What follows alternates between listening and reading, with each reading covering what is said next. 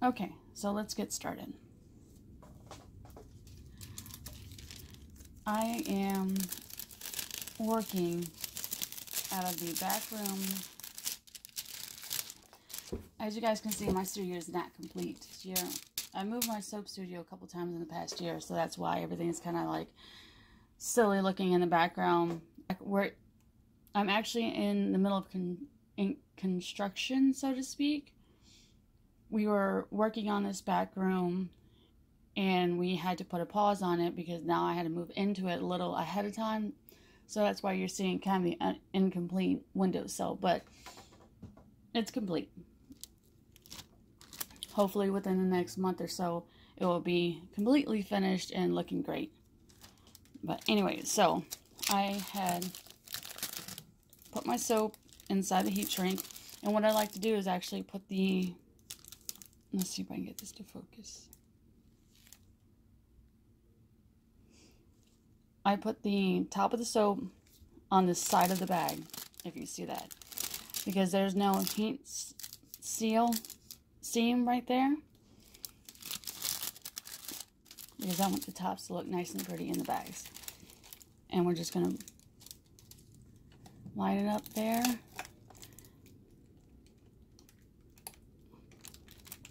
And sometimes it does take a couple times. If, it's, if the impulse sealer has been sitting for a little bit, a few minutes, this bottom wire cools down.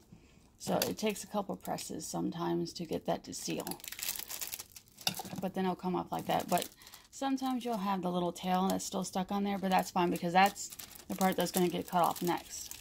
So going to line it up again and press. And there you have it. And once they're all done, I'm going to use a heat gun. And while they're still stacked, I'm going to heat, heat shrink them bunches at a time. So let's get this other soap wrapped up. Where's my bags? This brand of shrink wrap is actually really good. It seals pretty darn good, if you ask me. I've bought this before from Amazon. It's great because, you know, Amazon Prime, I can get it when I need, I'm in a pinch. It typically comes the same day, which is exciting. I bought myself a plastic rocking chair from one of the home improvement stores. And, like, if I order later in the day and it's still the same day, I'll go out there and sit for an hour or so. Enjoy the weather and watch my little girl ride her bicycle and wait for the uh, mailman to come and drop off my package. Or the UPS guy. Whichever's going to bring it that day. So, there you have it. It's just a quick little video just to show you uh, just a quick little video to show you how I heat shrink. It's just, it's just that quick.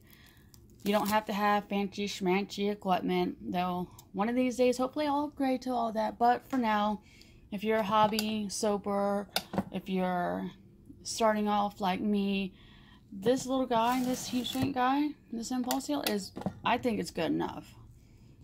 I mean, I got uh, 40 soaps wrapped within an hour you know, just sit down, put your headphones in, watch a video on YouTube, like my video, and just heat shrink away. All right, guys. I will see you later.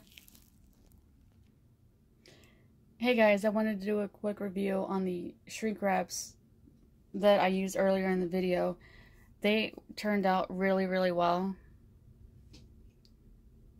They turned out really well.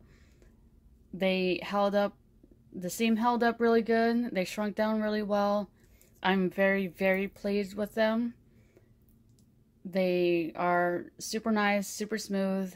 I used a regular heat gun. My boyfriend has like 10 of everything, especially heat guns. And I just used one of his. And it's like more, more, I guess, industrial kind. But anyways, it gets hot. So you have to practice with it, but they turned out really good. The tops look really nice. That's the most important thing. And that's what I was telling you about earlier. is to point the soap down to the side where there's no seam because you don't want that going across the top of your pretty tops.